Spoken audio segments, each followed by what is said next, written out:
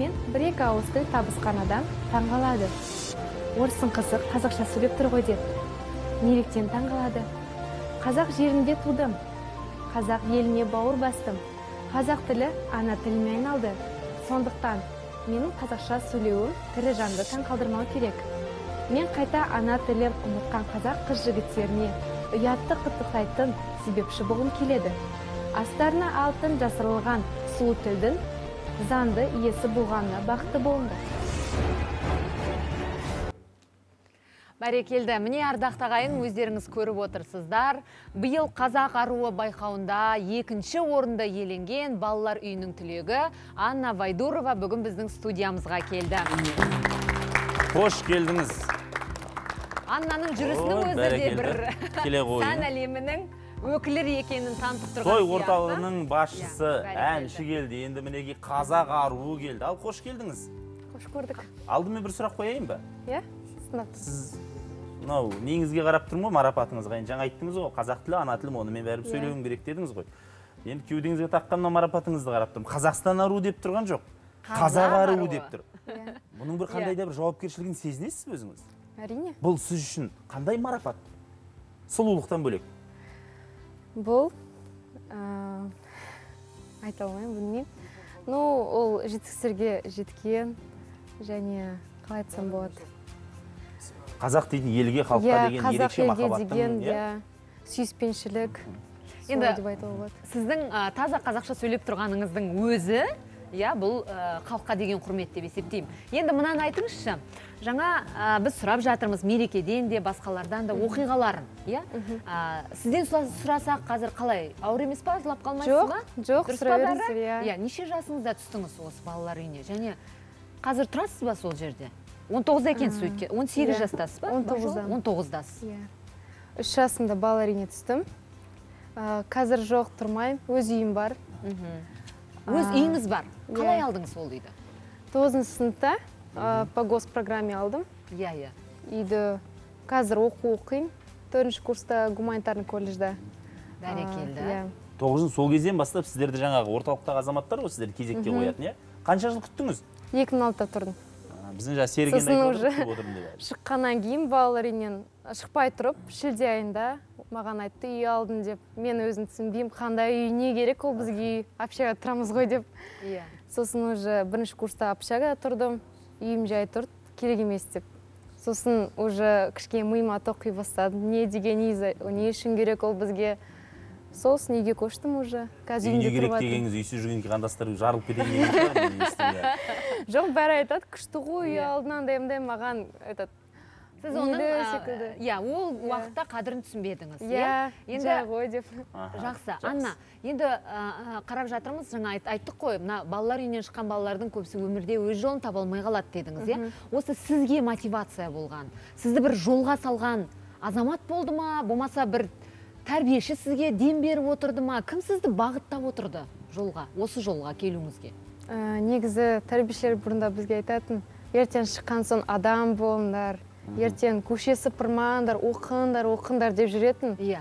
мұғалімдер де солай айтады негізі мектепте. Ә, сосын мен өзіме ә, осындай мотивация қойдым. Мысалы қолы жоқ аяғы жоқ адамдар көрмейтін андай бір нәрсемен ауыратын адамдар. Олар бірдеңеге талпынысады бір адам бар ғой екі қолы жоқ аяғы жоқ деген Иә, иә. ә, знаменитый кісі. Ника вучич. Иә. иә сол кісі ол всего добился. Өзі соған қараймын өз да күшімен. иә айтам ә, неге біз оны істемеске Иә. мысалға біздің екі қолымыз бар аяғымыз бар. Бірақ біз айтамыз өлгім келеді өмір сүргім келмейді мынаны істей алмаймын иә. бар ғой ондай балалар бірақ. А, бірақ соның өзінде де сен тырысу керексің. Нең кем олардан? Мысалы мен әншілерге андай тележүргізушілерге қараймын. Мына кісі қалай жетістікке жетті? Не істеді ол? Неге ол сондай знаменитый? деп. И өзіме сондай мақсат қоямын мен де осылай істей аламын ғой ол кісіден не жақсы енді бізге ол сұрақ қоймай ақ қойыңыз. Мен енді бұл жерде мына ә, бақытгүл ханымға сұрақ қойғым Иә. келіп тұр. Қош келдіңіз. Алматы қаласынан келіпсіз иә? Ә, осы балалар үйі директорының орынбасарысыз иә? Қаншама жыл Тәрбие тәрбиеші болдыңыз мінекей енді. Естідіңіз ғой біздің кейіпкерлерді. Бұл кісілердің барлығы да жетістікке жеткен. Тағдырдың қатты қатты сынақтарына морт сынып кетпеген жігерлі жастар. Осындай жастар балалар үйінің ішінде көп болу үшін. Қалай тәрбиелеуіміз керек бұларды қандай бір ерекше методика бар ма? Мүмкін жас әріптестеріңіз бізді көріп отырған. Сізден гөрі сабақ аралы сабақ алар. Қайырлы күн ә, құрметті көрермендер ә, және бүгінгі бағдарламаның кейіпкерлері. Иә ә, мен бұл сұраққа көптеген мысалдар келтіре аламын. Себебі балалар үйінде тәрбиеленушілердің жан жақты жақсы адам болып ә, қалыптасып дамуына көптеген мүмкіндіктер қарастырылған. Мысалы біздің балалар үйінде бірнеше үйірмелер жұмыс істейді. Балалар сабақтан келгеннен кейін әр баланың өзінің қабілетіне байланысты домбыра үйірмесіне барады ер балалар көбіне спорт үйірмелеріне барады қолөнер үйірмелеріне барады. Сонд- сондай ақ жаңағы ағашпен өрнектейтін әртүрлі жаңағы бұйымдар жасайтын үйірмелеріміз бар. Одан бөлек біз балаларды жан жақты қалыптасу үшін дара қоғамдық қорының арнайы бағдарламасымен шартқа отырған едік. Ә, сол кісілердің қолдауымен әр балаға тәлімгерлер тағайындалған. Арнайы психологтар. Сондықтан ә, біздің балалар үйіндегі балалардың көбі ә, көбінесе ә, жоғары талпынады. Мен мына балаларға қарап ә, соншалықты қуанып отырмын. Біздің де нөмірі бірінші балалар үйіндегі балалардың жетпіс пайызы өздерінің алдына мақсат, алдына мақсат қойып сол мақсаттарына жеткен балалар. Мен енді өзім ә, тәрбиеші ретінде біздің ә, жаңағы балалар үйінде ә, 12 жылдай ә, тәрбиеші қызметін атқардым. Ә, сонда жаңағы қазақ тобында жұмыс істедім. Бір қазақ тобынан төрт мемлекеттік грант иегері шықты. Олардың бәрі иә жақсыға бітіріп қазіргі таңда өздері таңдаған мамандықтары бойынша жұмыс істеуде. Біз ол балалармен қол үзбейміз үнемі байланыстамыз. иә. Жақсы. Рахмет. Енді ә, сіздің еңбегіңіз иә сол жерде ә, осындай балаларды тәрбиелеп жатқаныңыз ол сөзсіз ә, ол құрметке лайық. Бірақ ә, бұл сіздің сөзіңізге қарап балалар үйі деген жақсы екен мен мында күнімді көре алмай жүрмін баламды сонда апарып тастайын дегенге бір ә, себеп болып кетпесе екен деймін. Бұл балалар үйінің жарнамасы болып кетпесе екен деймін мен. Өйткені ә, қанша балалар үйінде тұрса да мейлі ол жерде қанша жағдай жасалып жатса да ол бәрібір өзінің үйіне жетпейді. Ол бәрібір ананың аялы алақанына жетпейді. Солай бірақ ол қоғамның қажеттілігі ғой біз керек жоқ десек те. Мына нәрсені сұрағым келеді жақсы. А, мынада статистика бар. Мысалы 2015-2016 жылдары жаңағы патронаттық тәрбие басқа дейміз асырап алды дейміз ғой. Сол кісілер баланы алған. Бірақ 399-ы балаларымен тұра алмай ата аналар қайтадан әкеліп тастапты.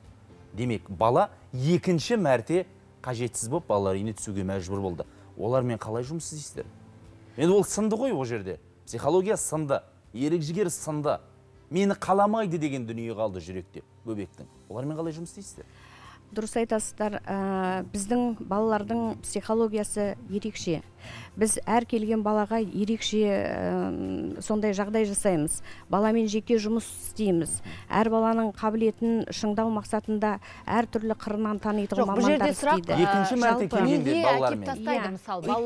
Иә, ата ана ата ана алған кезде балаға мүмкіндігінше көңіл бөле алмайды. Олар жұмыста жүреді. Иә. бала өз бетімен кетеді. Ал содан кейін мектептегі сабағы төмендейді. Ата ана мен баланың ортасында түсініспеушілік пайда болады. Оның бүге шігесіне дейін ата ана жетпейді ортада ұрыс керіс пайда болады. Содан жаңағы жанжалдан бала ә, далаға қарай қашады. Ақыры баланы балалар үйіне қайтадан тапсыруына ол кісілердің тура келеді. Яғни баланы алған кездің өзінде де үлкен бір жауапкершілікпен барып осыны сезініп барып алу керек қой сонда иә мына қандай талаптар қоясыздар оларға? Құжаттан бөлек. Қазір ә, нөмір бірінші балалар үйінің қабырғасында ә, жаңағы отбасына баратын балаларға арналған ә, школа приемных родителей деп аталады. Иә, сол ә, сол ә, жаңағы ә, орталық қызмет істеп жатыр. Әр се- се- сәрсенбі күні сағат тоғыздан екіге дейін ат- ас- баланы аса- асырап алушы ата аналар келіп сол жерде өздері дәріс сабақтарын алады. Кәдімгідей ә, оларға ә, арнайы мамандар сабақ жүргізеді.